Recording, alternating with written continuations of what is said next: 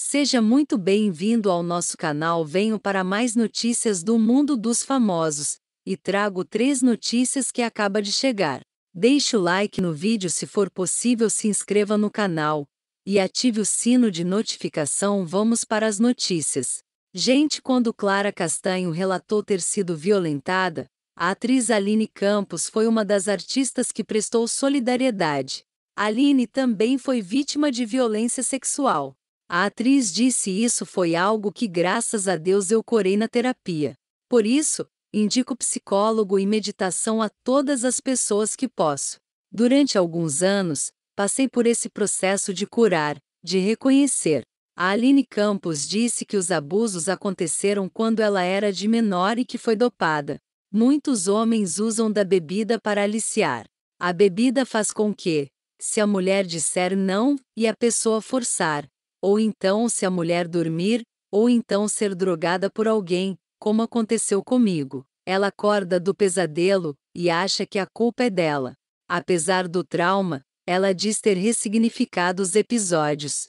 O que posso falar hoje é que, sim, fui abusada sexualmente, fui estuprada.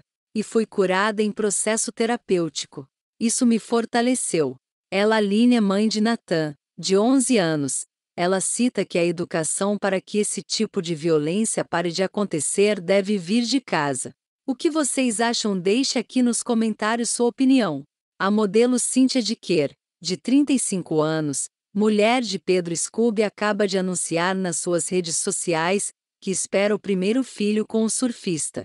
A novidade foi divulgada por meio de um vídeo publicitário das lojas americanas, em que a modelo acaricia a barriga e pede para Scooby comprar itens como fralda, chupeta e mamadeira. Pedro Scooby já é pai de Dom, de 10 anos, e Ben Liz, de 6 anos. As três crianças são fruto do casamento com o atleta com a atriz Luana Piovani.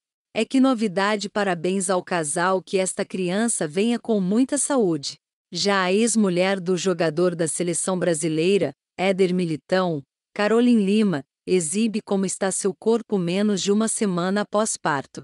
A influenciadora deu à luz a Cecília, fruto do relacionamento com o jogador. A loira posou usando um body bem justinho ao corpo, mostrando que sua barriga de gravidez já desapareceu.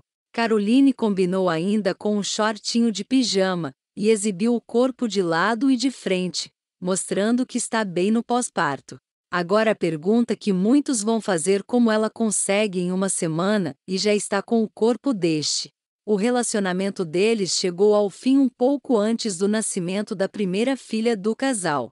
Éder Militão e Caroline estavam juntos há um ano e no final da gestação, ao pegar férias dos campeonatos da Espanha, onde joga pelo Real Madrid, uma polêmica começou.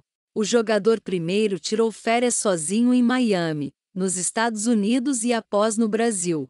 Caroline ficou sozinha na Espanha, já com nove meses de gestação e desabafou sobre a solidão nas redes sociais. Quando o jogador voltou ao país, a influenciadora anunciou o término.